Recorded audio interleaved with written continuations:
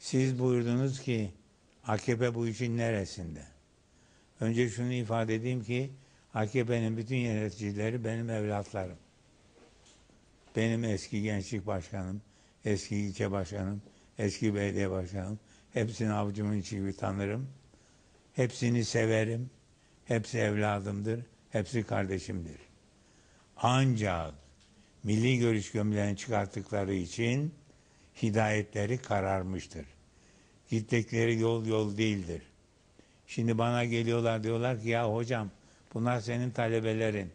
Sen bunlara aferin de sırtlarını okşa. Onlar da senin etrafında pervane olsunlar. İstediğini yaptır. Sen niye bunlara iyi yapıyorsun çocuklar diye demiyorsunuz da yanlış yapıyorsunuz diyorlar diyor bana. Niye diyorum? Çünkü ben onları sevmekle beraber vatanım milletimi daha çok seviyorum da onun için.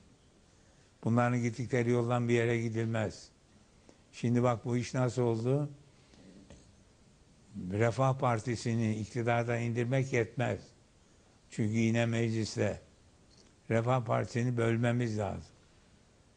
Refah Partisi'ni bölmek için bunun içerisinde biz başbakan olalım, biz bakan olalım, biz şey olalım diye heves eden çocuklar var. Bunu Siyonizm biliyor. Bizim iç yapımızı. Gelin bakalım buraya. Siz bunu arzu ediyorsun değil mi? Biz bunu size verelim. Size bizim istediklerimizi verin. Diyerek 12 Eylül'ün arkasından onun ürünü olarak bunlar ortaya çıktılar. Çıktılar ama 8 seneden beri ne oldu? Öyle kendi kendine konuşarak anlatıldığı gibi değil meseleler. 8 seneden beri ne oldu bak size olarak söyleyeyim. Bir, fakirlik arttı. Birleşmiş Milletler'in indekslerine göre Türkiye'nin üçte biri fakirdi 80 evvel. Şimdi üçte ikisi fakir oldu. Birleşmiş Milletler rakamlarıyla söylüyorum. Ölçülerle söylüyorum. Türkiye fakirleştirildi. Efendim milli gelir 10 bin dolara çıkarttık. Yahu sen aldığın borcu gelir sayıyorsun ya. Çocuk mu aldatıyorsun? Borçtan gelir mi olur? Borç almış, milli gelir ilave ediyor. Fert başına taksim ediyor. Fert başına gelir artmıştır diyor. Böyle şey mi olur ya? Ne on bin dolayı? Şu halkın içerisinde bir dolaş bakalım. Adam kredi kartlarının borcunu nasıl ödeyeceğim diye kıvır kıvır inliyor. Sinir hastalıkları, ailelerin bozulması, korkunç bir felaket yaşıyoruz. Korkunç bir felaket. Bunlar gösterilmiyor. Neden? Çünkü bütün basın tamamen Siyonizm tarafından satın alındı. Şimdi bak sırayla söylüyorum. Türkiye fakirleştirilmiştir. Bir. İkincisi işsizlik. Yüzde yirmidir işsizlik oranı. Efendim işsizlik her zaman vardı. Biraz az olmuş, çok olmuş ne olacak? Öyle şey mi olur ya? Allah kimseyi işsiz bırakmasın.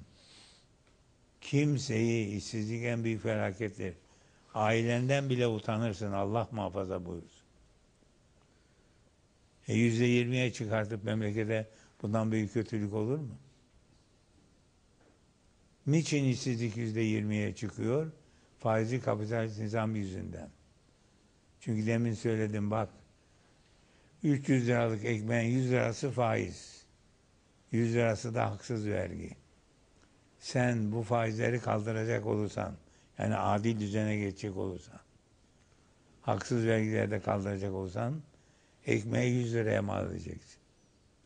Aynı sermayeyle üç misli üretim yapacaksın. Üç misli insan çalıştıracaksın. Ve en ucuza ürettiğin için de en fazla ihracat sen yapacaksın. Üç misli fazla kazandığın için de ona göre kazancından vergi vereceksin. Hem devlet de daha çok vergi alacak. Vergiyi kaldırdığın halde devlet daha çok vergi alacak. İsrail mecelleyi tatbik ediyor. Şimdi biz gelip Türkiye'de adil düzen tatbik ettik mi? Göreceksiniz bizim arkamızdan önce İsrail bunu tatbik edecek. Çünkü adil düzene geçildiği zaman ekonomiye bereket gelir, bolluk gelir. Nitekim biz elde önce hükümette adil düzenin kokusunu tatbik ettik. Yani devlet gitmiş İzmir'de TEDAŞ elektrik parası almış. Bu parayı götürmüş özel sektörün bankasına yüzde 40 faizden yatırmış.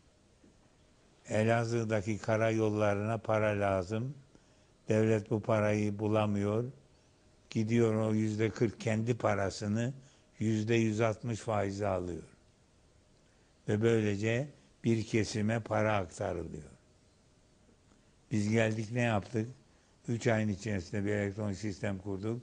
Bütün devlet paralarını devlet bankasına topladık. Ve bu kendi paramızı daha yüksek faizle ortadan, almaya ortadan kaldırdık. 14 milyar dolar 6 ay içinde faizden kurtardık. Yazık günahtır.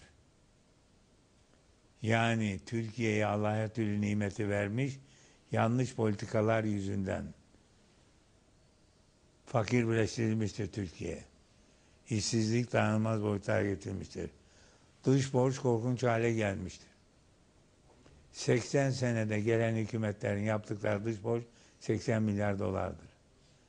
Bu AKP geldi 8 senenin içerisinde 580 milyar dolara çıkarttı. Ödeyeceğimiz dış borcun miktarı. Şimdi özel sektöre yaydığı için devlet bütçesinde gözükmüyor ama bunun hesabı var bizde. 580 milyar dolara çıkartılmıştır. Şu andaki bütçenin yatırım faslı 50-60 milyar dolardır. Faiz ödediği faiz 60 milyar dolardır. Yani Yahudi'ye 60 vermezsen kendi halkına hizmet edemiyoruz. Ne kalıyor geriye? Sıfır kalıyor. E neyle idare ediyor? Yeniden borç alarak idare ediyor. John Ahmet'in devri daim makinesi. Böyle bir devlet yürür mü ya? E yürüyor efendim. Yürütüyor adam çünkü büyük İsrail'i kuracak. Onun imanı var. 5760 senelik davası var. O planlı programlı şekilde hareket ediyor. Bunları kullanıyor. Bunlar ne yaptıklarını bilmiyorlar. Şimdi AKP'yi destekleyen birisine deseniz ki bana bak ya sen Siyonizme hizmet ediyorsun. Size şaşırır. Ne diyorsun sen ya? Ben mi Siyonizme hizmet ediyorum? Beni Siyonizme hizmet eder miyim der. Ben ne diyorum size kulak verin lütfen sözüme. Siyonizm öyle usadır ki ben mi ben hiç Siyonizme hizmet eder miyim dedirttire dedirttire seni kendi ordusunda askerlik yaptırır. Gözünü aç. Siyonizme çalışırsın, çalışmıyorum iddiasına bulursun ve zannedersin. Tekrar sayıyorum fakirlik, işsizlik, dış borç korkunç hale gelmiş, karşılayamayacak hale gelmişiz. Ve dinden uzaklaştırma. Bunun için şimdi kitap hazırlıyoruz. Neler yapılıyor dinden uzaklaştırma. Ondan sonra Türkiye'yi bölme. Nedir bu Kürt meselesi? Nedir bu demokratik meselesi? Bunlar laf mı ya? Hiçbir yönetici bu lafları ağzına alır mı? Bizim böyle bir meselemiz var mı? Biz yeni kurulmuş bir devlet miyiz? Biz bin sene bir arada yaşamış bir Müslüman ülkeyiz. Müslümanlıkta ırkçılık yoktur. Kürtmüş, Türkmüş, Arnavutmuş hiçbir fark yoktur. Bir insanın hangi ırktan geldiği sorulmaz bile. Ecdadımız böyle yapmadı mı? Efendim peki Güneydoğu Anadolu meselesi yok mu? Var. Güneydoğu Anadolu meselesi dediğimiz mesele iki meseledir. Bir, halka muamelede çok büyük hatalar yapılmıştır. İki, kalkınmada geri bıraktırılmıştır. Bu dengesizlikleri giderme ve davranış hatalarını düzeltme meselesidir. Irk meselesi değildir. Sen bunu ırkçılık haline sokarsan Türkiye'yi bölersin. Ve dış güçlere hizmet edersin. İsrail'e vilayet yaparsın. Çünkü Hayım Naum doktrinin yedi maddedir. Türkiye'yi aç bırak, işsiz bırak, borca esir et, dinden uzaklaştır, böl, böldüğün parça birbirine çarpıştır ve yumuşak lokmaları yut. Biz bunları muharebeyle İsrail'e vilayet yapamayız. Ancak Hayım Naum doktora yaparız. Üzerimizde bu plan uygulanıyor. Ve bu plan üzerine sayıyorum ben bunları size. Türkiye'de fakirlik artmıştır. İşsizlik dayanılmaz boyuta gelmiştir. Dış borç dayanılmaz hale gelmiştir. Din değiştirilmeye çalışılmaktadır. Türkiye bölünmeye götürülmektedir. Şuursuzluk yüzünden. Ve bu bölünen parçalar bir müddet sonra birbirleriyle çarpıştırılacaktır. Bu kalkan malkan projeleri var ya, bunlar hepsi Türkiye'yi bölmek içindir. Biz uzmanlardan aldığımız bilgileri inceledik. Bir de baktık ki vay canına ya. Söylemek istemiyorum. Uygun görmediğim için. Bahsedilmesi bile doğru değil. Yumuşak lokma haline gelecek. Millet birbirine çarpışacak. O yumuşak lokma alacak. İsrail'e bilat yapacak. Nereye gidiyoruz ya? Bak bu sözümü unutmayın. Toprak kayıyor, toprak. Hocam bu evlatlarınıza iyi yapıyorlar deyin de etrafınıza pervane olsunlar. Ne güzel herkes size böylece gıpta eder durur. E, vatan ne olacak? Türkiye'nin bütünlüğünü nasıl koruyacağız? Birliğini nasıl koruyacağız? Türkiye'yi nasıl kalkındıracağız? Türkiye'yi nasıl lider ülke yapacağız? Bak bu 61 tane parti var ya, bunların gayesi ne biliyor musun? Türkiye'yi götürüp Avrupa'nın kapısına zincirle bağlamak. Saadet Partisi'nin gayesi ne? Tarihteki şerefli yerimizi almak. Bundan dolayı bak bu seçimde şimdi çok mühim sloganlarla milletimize gerçekleri duyuracağız. Sloganlarımızdan bir tanesi nedir biliyor musunuz? O da şudur. Irkçı emperyalizmin taşeronu değiştireceğiz, Mimar Sinan'ı getireceğiz.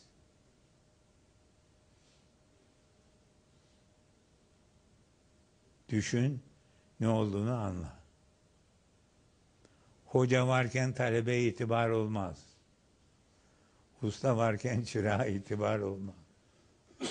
Efsane başbakan yeniden geldi. Kimmiş efsane başbakan? Benmişim. Niye benmişim?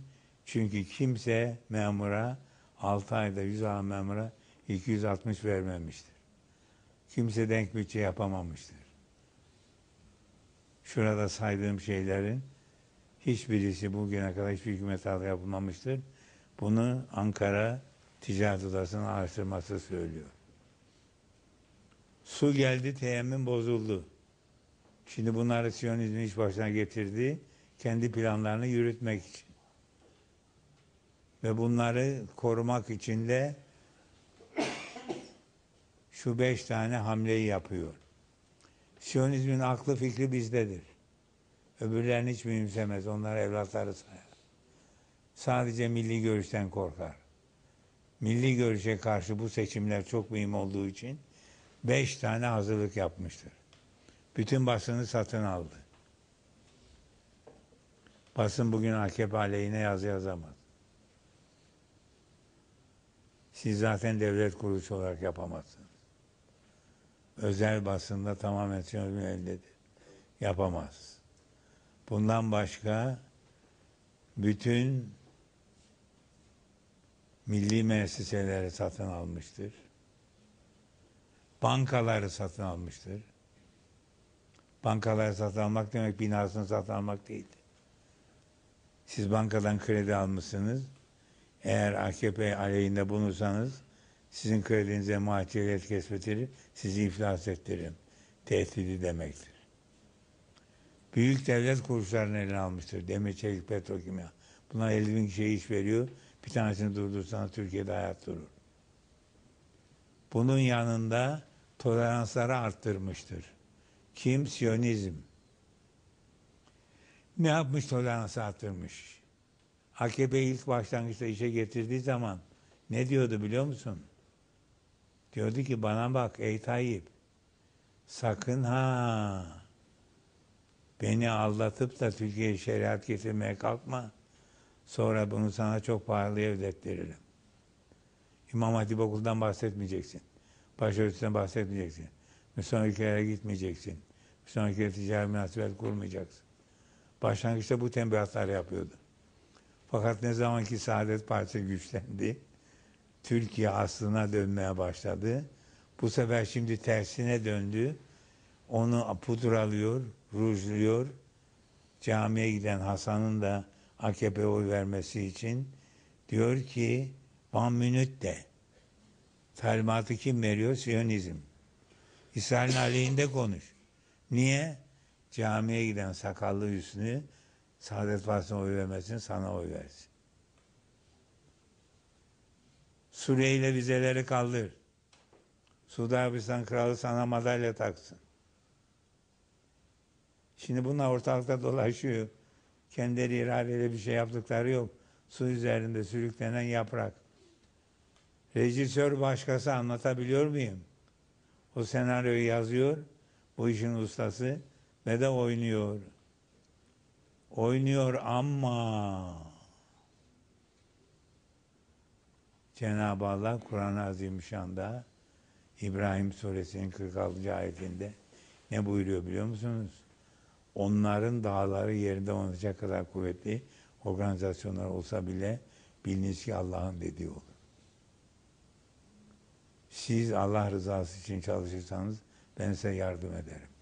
Ben yardım ettiğim zaman ancak siz galip gelirsiniz. Kimse size galip gelemez. Biz Müslümanız elhamdülillah.